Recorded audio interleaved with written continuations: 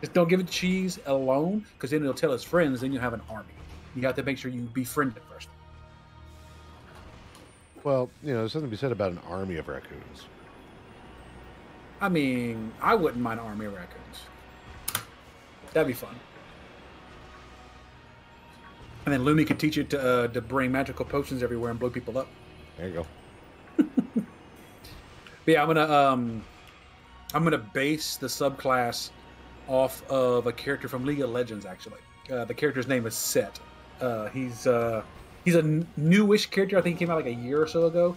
A lot of people who play League, especially the um, he wants she wants to fist fight them all. but raccoons are cute. I love raccoons with little grabby hands. Um, uh, what was I saying? Um, barbarian. Totally chased that, that rabbit the way I shouldn't have. Um, yes, I, I'm gonna make the subclass after this character Sett, whose whole thing is he is an underground street fighter and he uses his fists to do everything. His ultimate is literally suplexing somebody through the air. Like I can make this into a D&D character easily with fighter and monk as the two catalysts for it. I just have to know. I just have to sit down and actually just write it out, like what it'd be called, what he learns, what his attributes are, and all that good stuff. It's it's gonna be fun.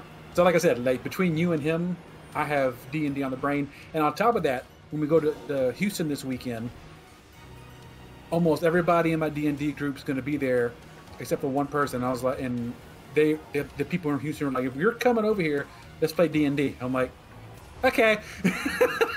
so I'm gonna make sure that the other person's character is like doing other things in PC style, and I'm gonna continue the story with them because Harrison's been asking me, Dad, when's the next time we're gonna play D and D?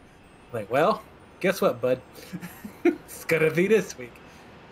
So uh, it's it's been a D and D fuel for the fire. So yes, all the all the tabletop. Now, when they steal all the feral cat's food and chases said cats off, we'll give we'll give them food.